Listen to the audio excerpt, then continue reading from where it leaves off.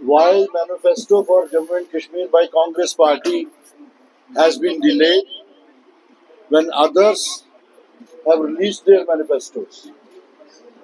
I would like to inform you like to inform you that this manifesto of Congress party is people's manifesto. We had committees formed for different districts, all the 22 districts.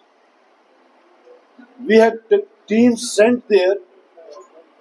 We had discussions with all the cross sections of the society, collected their inputs, and then consolidated it into this manifesto, which we call as People's Manifesto. I would request Pawan Khera ji, to explain about this manifesto to you. में बात करें? शुक्रिया। पिछले दस साल से जो हालात कश्मीर के हुए हैं, कश्मीर का दिल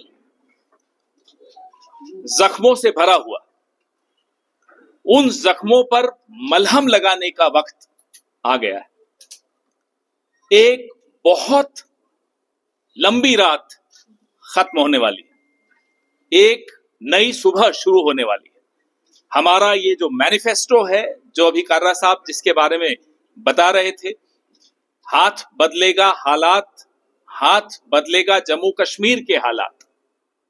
आज जो दस साल से हमने देखा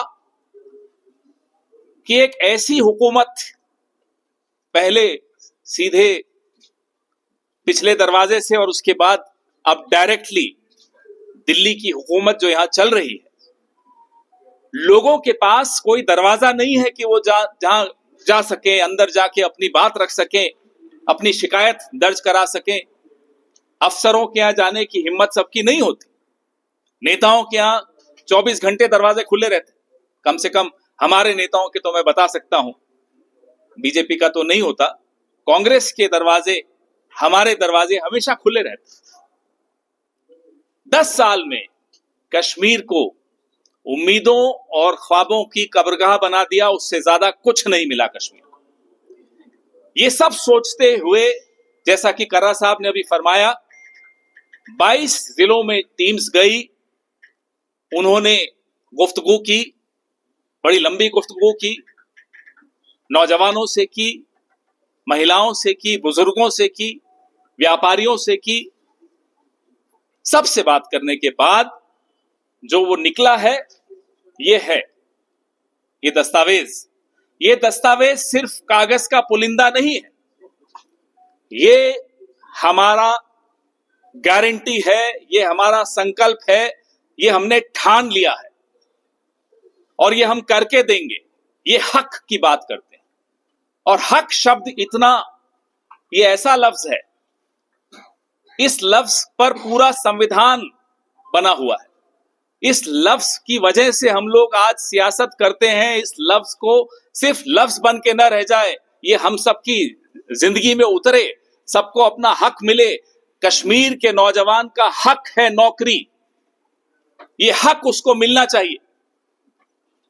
कश्मीर की जो महिलाएँ हैं उनका हक है पेंशन, उनका हक है सपोर्ट, वो उनको मिलना चाहिए। जम्मू कश्मीर एक ऐसी रियासत जिसका हक छीन लिया गया। एक स्टेट था उससे स्टेटहुड छीन ली गई। उसको यूनियन टेरिटरी बना दिया। वो हक उसका फिर से मिलना ज़रूरी है। और ये हक हम दिलवाएँगे। कह रहे हैं आज भी कर्रा साहब अभी बता रहे थे, एक शाह शहनशाह घूम रहे थे, जम्मू कश्मीर, जम्मू में आज आए थे। कहते हैं स्टेटहुड हम देंगे। आपने तो छीनी है स्टेटहुड आप क्या देंगे? अगर देनी होती तो छीनी क्यों थी? ये सवाल हर जम्मू कश्मीर के, हर नागरिक के, सबके दिमाग और दिल में ये सवाल है। तो हमारी रियासत, हमारा हक, ये हमारा सबसे पहला वादा। हम जम्मू कश्मीर की रियासत को, उसकी स्टेटहुड दिलवा के रहेंगे। हमारी नौकरी, हमारा हक। जम्मू कश्मीर के नौजवान, वो लड़का हो, लड़की हो, आज जम्मू कश्मीर पूरे देश में नंबर दो पे है बेरोजगारी के आंकड़ों में। Jammu and Kashmir is on number two when it comes to unemployment और अगर महिलाओं की बेरोजगारी की बात करें तो नंबर वन ये बदलना होगा। और इसको बदलने के लिए हम लोग मैदान में हमारी बिजली हमारा हक। आज मैं सुबह से यहाँ कश्मीर में हूँ और जम्मू में भी हमारे साथी हैं। बिजली की हालत आप सबके सामने है। और अगर हम लोगों ने रोका नहीं होता तो जो भारतीय जनता पार्टी जिस तरह की अमेंडमेंट ला रही थी, जम्मू कश्मीर के लोगों को, किसानों को जो भारी चोट लगने वाली थी, वो रुका।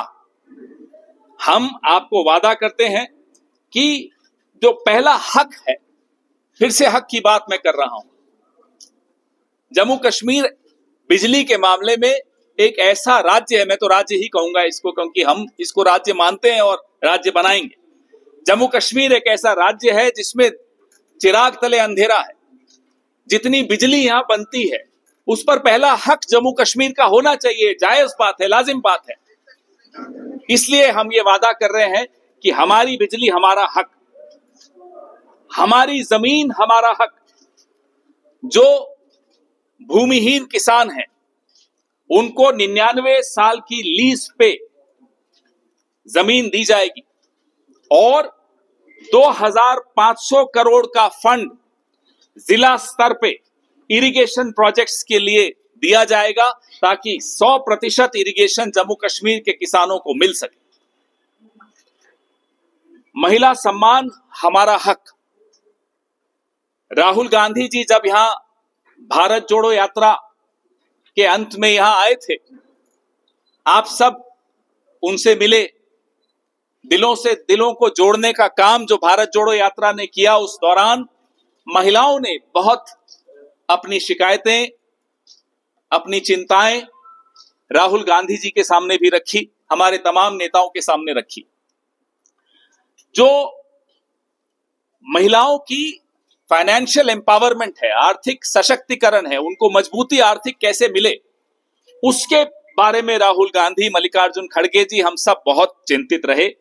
तीन हज़ार रुपए महीने का उनको असिस्टेंस मिलेगा, जो महिला हेड ऑफ़ द फैमिली है, उसको तीन हज़ार रुपए महीने का देने का हमने वचन दिया और पाँच लाख रुपए के लोन सेल्फ हेल्प ग्रुप्स को मिलेंगे। महिलाओं के सेल्फ हेल्प ग्रुप्स को पाँच लाख रुपए के लोन दिए जाएँगे।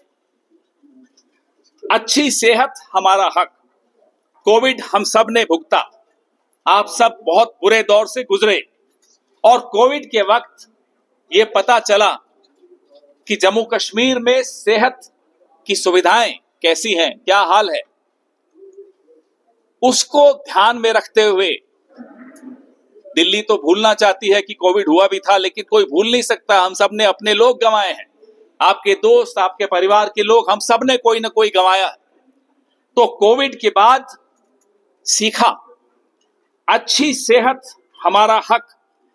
30 मिनट के अंदर अंदर लोगों को, जिसको भी स्वास्थ्य सुविधा चाहिए, उसको मिलनी चाहिए।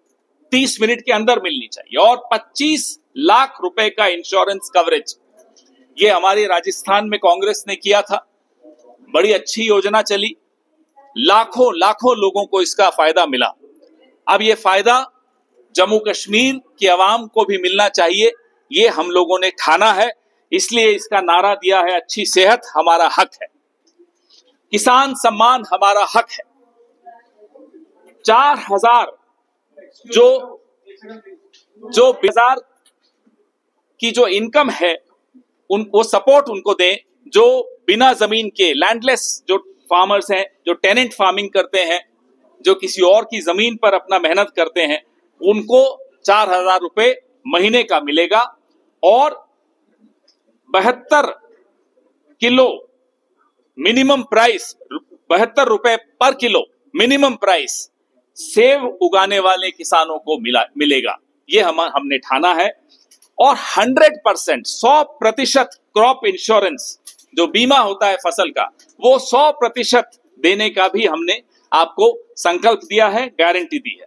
ये सारे क्रॉप्स के ऊपर लागू होता है, हर फ़सल पर लागू होता है। कोई एक अनाज या एक तिलहन पे नहीं, सारी फ़सलों पर लागू होता है। इसके अलावा, जब आप इसको पढ़ेंगे हमारे मैनिफेस्टो को तो इसमें टूरिज़्म और जो ओबीसीज हैं, उन पर एक विशेष फोकस किया गया है। जो संविधान है, कॉन्स्टिट्यूशन है, उसके फ्रेमवर्क में ओबीसीज के हितों की रक्षा की जाएगी। ये इसमें आपको इसका बड़ा लंबा चौड़ा ज़िक्र होगा। वो भी आप पढ़ेंगे। माइनॉरिटी कमीशन पहले सौ दिन में बनाई जाएगी। सरकार बनने के सौ दिन में माइनॉरिटी कमीशन बनाई जाएगी। और जो डॉक्टर मनमोहन सिंह जी के वक्त कश्मीरी पंडितों को रिहेबिलिटेशन प्रोग्राम शुरू हुआ था। उसको फिर से चालू करके लागू करवाया जाएगा। ये मैंने आपको एक जिस्ट बताई है कर्रा साहब। ने लगातार वो शिकायतें सुनी है। उनकी शिकायतें दूर की जाएँगी। उसके लिए आपको ज़्यादा इंतज़ार नहीं करनी पड़ेगी। सरकार बनते ही प्रेस की भी शिकायतें दूर करने का एक मैकेनिज्म हम ला रहे हैं। ये हम आपको वादा करते हैं। आपके सवाल को कहा